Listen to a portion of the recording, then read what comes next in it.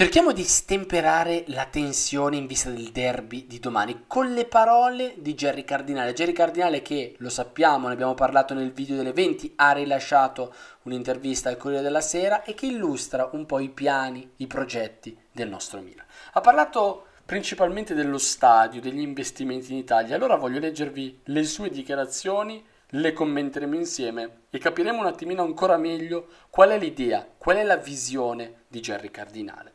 Riguardante lo stadio, lo stadio San Donato, Cardinale si è espresso così. I presupposti sono incoraggianti. Col benestare del comune di San Donato e della regione, che ringraziamo, abbiamo già svolto diverse sessioni molto produttive.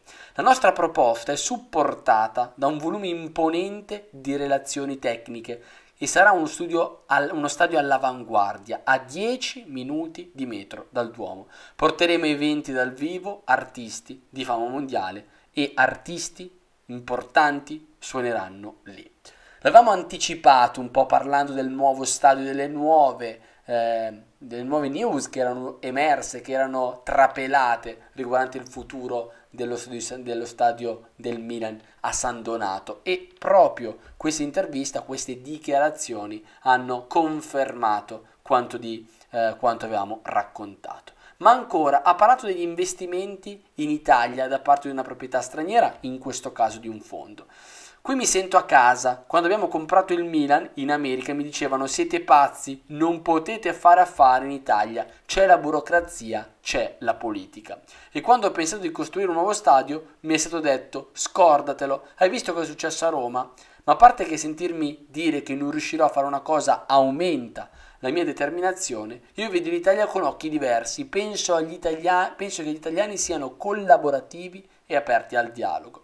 Mi piacerebbe investire di più qui. Quando costruiremo il nuovo stadio sarà un progetto da un miliardo di euro e sarebbe un bel segnale se fosse sostenuto anche da capitali italiani. Sarebbe una risposta a chi sostiene che in Italia non si può fare impresa. Quindi anche riguardante l'investimento del, dello stadio ci racconta, Cardinale, ci racconta il numero uno di Redbird che l'investimento sarà da circa un miliardo di euro, di dollari finanziati dagli investitori che contribuiscono alla gestione del Milan insieme a Redbird. Poi ho parlato anche del Moneyball dicendo da quello che leggo sembra che se sei un esperto di dati allora vuol dire che non fai bene allo scouting. È ridicolo. Moneyball è stato scritto 20 anni fa, oggi tutti utilizzano i dati ma nel nostro portafoglio c'è un'azienda di analisi con 13 ricercatori del MIT.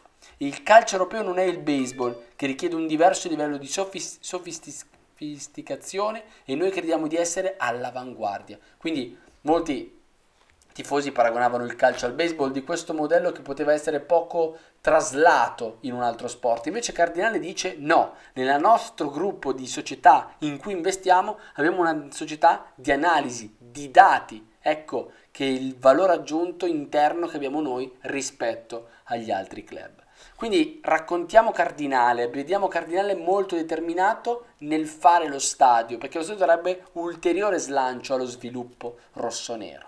Uno sviluppo che adesso è stato condizionato tanto dai buoni risultati sportivi, ma anche dalla, dalle sponsorizzazioni, dall'aumento di sponsorizzazioni che verrebbero ulteriormente possiamo dire valorizzate, ulteriormente potrebbero, essere, potrebbero garantire uno slancio con un nuovo impianto, con nuovi eventi, con una diversificazione di entrate e di servizi. Quindi Cardinale è pronto, è determinato, è voglioso di rendere il Milan un grande club sicuramente per interessi personali, interessi personali che però ovviamente porteranno valore, gioia a tutti noi tifosi del Milan. Fatemi sapere amici di Rubrica Rossonera cosa ne pensate, come sempre cliccate like, iscrivetevi al canale YouTube di Rubrica Rossonera.